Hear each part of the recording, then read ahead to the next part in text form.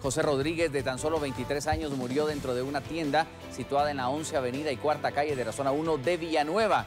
Este joven llegó a comprar al expendio cuando fue sorprendido por un motocicario que entró al local y le disparó a sangre fría.